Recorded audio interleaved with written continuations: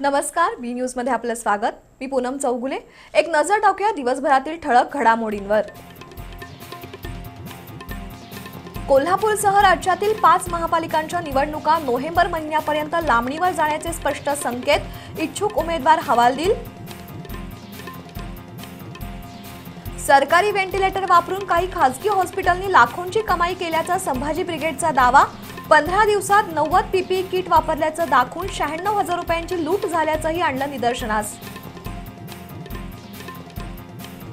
कोल्हापूर जिल्ह्यात गेल्या चोवीस तासात आढळले चाळीस पॉझिटिव्ह रुग्ण तेरा जणांना डिस्चार्ज तर दिवसभरात एकाचा मृत्यू उपचार घेणाऱ्यांची संख्या तीनशे एकोणीसवर जिल्ह्यातील एक्क्याण्णव गाव आणि दोनशे एकोणीस वाड्या वस्त्यांसाठी दोन कोटी चार लाख रुपयांच्या पाणी पुरवठा आराखड्याला जिल्हा परिषदेची मंजुरी